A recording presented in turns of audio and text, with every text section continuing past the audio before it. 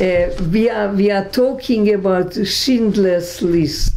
In 1982, uh, two young men in Australia met in a pub and uh, like they do in a pub they start talking to each other and one guy asks the other what what uh, are you doing? What is your profession? And the guy said i'm a writer a novelist and uh, so this this guy says to him oh you are a writer i do i have a story for you and and sitting there in the pub he told him the whole story. He was one of the people on Schindler's List and how he survived. And this was in 1982, and, and I read an article about this encounter, and, and I immediately bought the book, which was a beautifully written book. And, and I read the book, and, and for my synagogue, I, I wrote a book review, and this uh, it's it's very moving, and and I okay Schindler's List by Thomas Keneally. This is a book about the Holocaust. Having said that, I hasten to add that it is also a pen to what is good in man written about a German Catholic by an Australian Christian. Even the coincidental way the book came about makes interesting reading, but we will skip that part altogether. It is a piece of the mosaic, a rare, brilliant, shining gem of what was humankind's darkest hour. It asks again the question and does not answer it. Does history make great men or do great men make history? Oskar Schindler was a young, brash, uh, he, I, I quote, he looked sleekly handsome in the style of the film stars George Sanders and Kurt Jürgens. His hacking jacket and jodhpurs were tailored. His riding boots had a high shine. End of quote. He loved fast cars, fast women, and liquor. A loyal German above reproach, he found himself in Krakow in 1942 at the helm of a factory that previously belonged to a Jew things in Krakow started benignly. I quote, the Judenrat would supply the labor details. They thought that this would stop the random press ganging. They always bought the civil authorities off by cooperating with them and negotiating. End of quote. They believed in the value of a passive and orderly response. This was, I am quoting the Judenrat, that they believed in a value of a passive and orderly response. One day, Schindler, riding on a hill above the ghetto with his girlfriend, witnesses an action scenes of such utter horror that it changes his life. Eh, and I'm quoting again Beyond this day, no thinking person could fail to see what would happen. I was now resolved to do everything in my power to defeat the system. To write these things now is to state the commonplace of history. But to find them out in 1942, to have them break up on you from a June sky, was to suffer a fundamental shock, a derangement in the brain in which stable ideas about humankind and its possibilities are kept. The story flows sometimes lyrical, and I quote, and the half tumbled wall showed gravestones like teeth in the cruelly exposed mouth of winter. thus describing a vandalized Jewish cemetery, or looking down at the at a concentration camp. He moved, he moved teams. Uh, teams of women were moving black as bunches of musical notations in the strange, darkling luminescence of a snowy evening. Oskar Schindler, who had always been a man of transactions, begets an idea. He will make a business proposition to his drinking buddies, the SS, the upper hierarchy governing the occupied Polish town.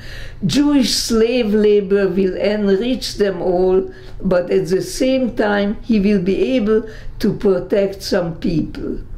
It was a daring tightrope act. He was arrested three times when his motives became suspect. He cajoled, he bribed, he even gambled for lives. He entertained lavishly, drank prodigiously, averted suspicion, and kept doggedly to his plan. Oscar had become a minor god of deliverance, endowed with all the human vices, yet capable of bringing salvation. The chosen were unanimous. I don't know why he did it. Events moved fast. Oscar sees the boxcars going to Auschwitz. He prevails on the SS to bring out the fire brigade to hose down the cattle cars stalled for days in the summer heat with the prisoners strapped, strapped inside to afford them some relief. As Oscar moves along the string of cars, accompanied by the laughter of the SS, bringing mercy, it can be seen that he is not so much reckless anymore, but possessed. Auschwitz, the dreaded phenomenon, the moral universe had not so much decayed here. It had been inverted, like a black hole under the pressure of Earth's malice a place where tribes and histories were sucked in and vaporized. End of quote. The news tightens. His Jews are also forced into a camp when they march to work every day. He devises a fantastic scheme. He will move the entire factory to a safer place by turning to producing shell cases he convinces the bureaucracy that his essential industry would be safer in a small town, and he starts making a list. This is now quoting There is a haziness of the legend about the precise chronology of Oscar's list, but not about its authenticity. A copy can be seen today in the archives of Yad Vashem, 1100 men, women, and children. After a tortuous journey in cattle cars, segregated, the women get stuck in Auschwitz for several undescribable weeks. He finally has them all together again. Here in Brinlitz, he maintained his prisoners' lives by a ser- series of stunts so rapid that they were nearly magical. It was one sustained, dazzling, in integral confidence trick. The tone was one of fragile permanence. There were no dogs, there were no beatings. The soup and the bread were plentiful long afterward, they would call Schindler's Camp a paradise. It inspired in people a sense of almost surreal deliverance. The Russians are closing in. We are in the spring of 1945. The SS guards make one last attempt to convince Schindler to liquidate the Jews he outmaneuvers them again. The prisoners get together and, and write a letter in Hebrew attesting to what Oscar did for them.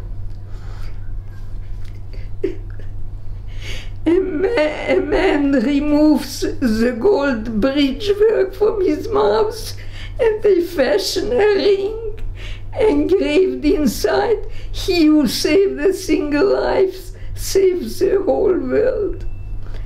An ordinary man had his exalted moment in history he sinks, he sinks back into decades of obscurity, sustained morally and financially by his Schindler Juden, now living dispersed on five continents.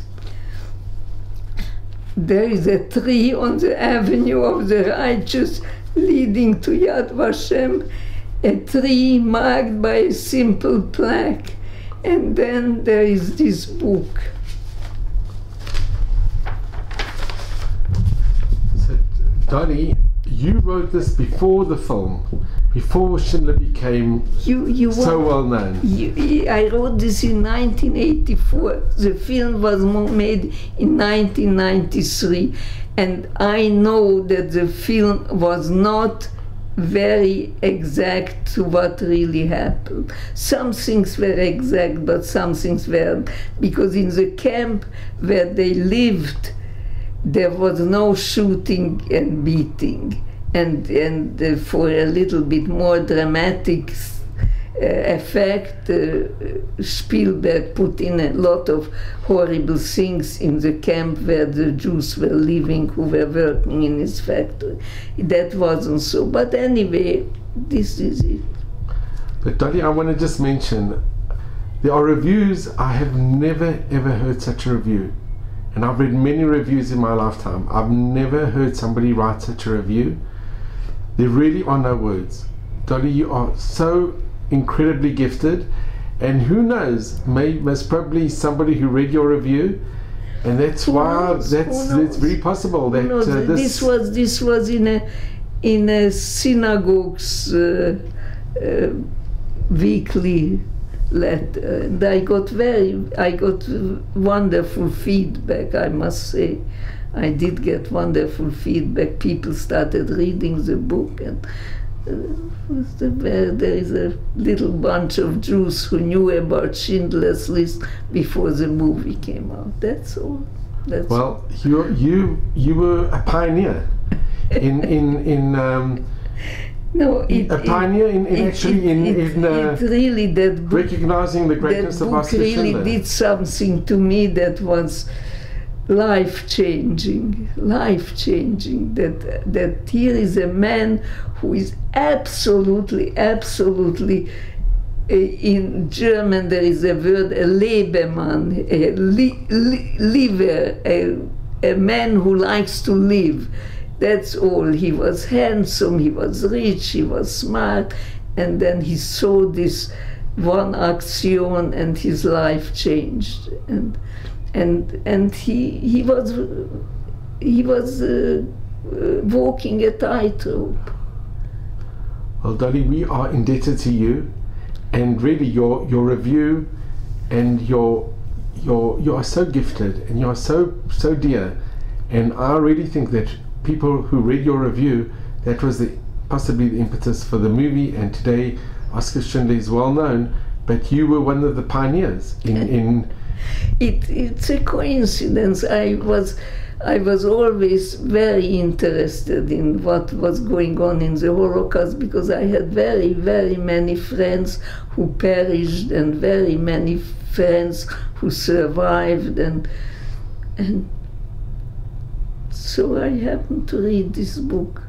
It's not coincidence. It's all mina shamayim. It was meant to be, Yes. and you were the one who was meant to write that incredible, and moving, and profound, profound. It, it is moving because it's a beautiful story. You can't you can't argue about the story because it's because there were there were very many people who who behaved well, like Wallenberg and Lutz, and there were very many people. But these were people in positions and with diplomatic uh, immunity, you know. Yeah. And and the Jap- uh, Japanese guy and all these people were wonderful. Sugihara. Yeah. It's, it's Sugihara, but uh, but uh, this guy was he was unique. he, he was unique and he was in a unique position and he recognized that here I can really make a difference for a few people. And, and I